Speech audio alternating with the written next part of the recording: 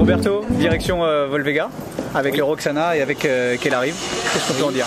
Roxana, on a, on a pêché le numéro, euh, un bon numéro, je pense, numéro 2 derrière l'Autostar à, à, à Volvega. C'est intéressant parce que c'est des virages très élevés et se trouver au, au bout de la montée, c'est pas, c'est pas évident. Je pense qu'on est très avantagé de ce numéro-là. La jument est très bien. Euh, la dernière course en Guiam, c'était pas son sport. hein. Ils ont pas roulé une 18 en kilomètre. Elle n'est pas capable de faire un, un sprint vite. Mais je vous dirais bien, euh, je pense qu'avec ce numéro-là, on vise une bonne place, très bonne place. Pourquoi aller à, à Volvega? Parce qu'elle a bien à l'étranger. Elle a bien couru cette année à, à Abi. Elle est deuxième.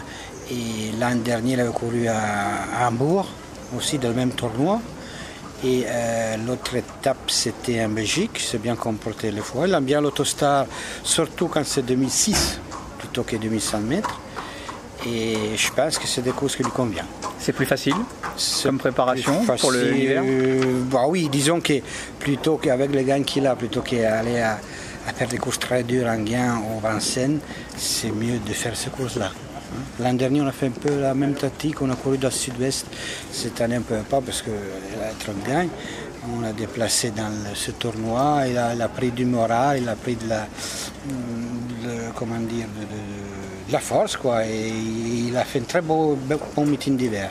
Je pense qu'on fera au moins deux ou trois étapes de ce tournoi cette année. Quand à qu'elle arrive? Qu'il arrive, bah, le numéro derrière, c'est pas vraiment quelque chose de favorable. Mais bon, le numéro 9 est pas loin du dos de qu'elle arrive, qui est, de, pardon, de Roxana qui est le numéro 2. On essaye de, si on peut prendre son dos, on, on se fait ramener et attraper, attraper un placement, quoi, Roxana, c'est la préférence entre les deux quand même? Forcément.